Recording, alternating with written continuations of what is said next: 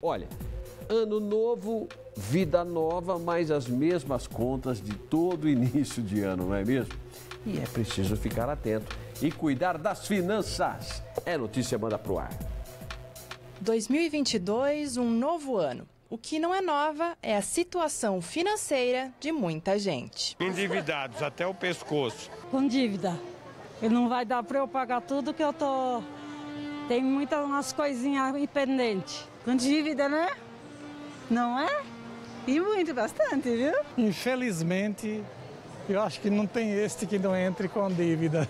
Essa é a realidade da maioria dos brasileiros. As dívidas impactam diretamente no orçamento familiar.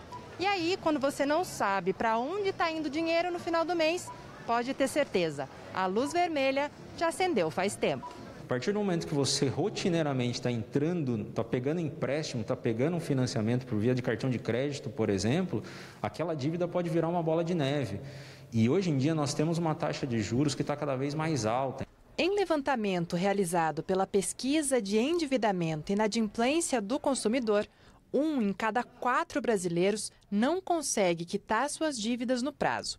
Apesar de muita gente estar no vermelho e levar essas contas para o ano seguinte, algumas pessoas conseguem sim se organizar. Aqui em casa a gente costuma separar todo mês, a gente tem uma reserva, né?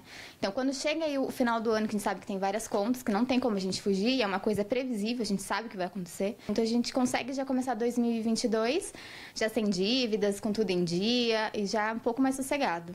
Uma das formas de iniciar 2022 amenizando as dívidas é aproveitar os descontos. Outra dica é anotar todos os gastos. No caso do IPVA, se a pessoa tem condições de pagar à vista, boa parte das dívidas dela, se ela conseguir antecipar, é o cenário ideal. E sempre manter um planejamento do que vai gastar. O importante é a gente começar a enxergar para onde está indo nossos gastos, porque é o primeiro passo para a gente começar a ver o que, que a gente pode cortar eventualmente. A Tayane, pelo jeito, faz isso muito bem.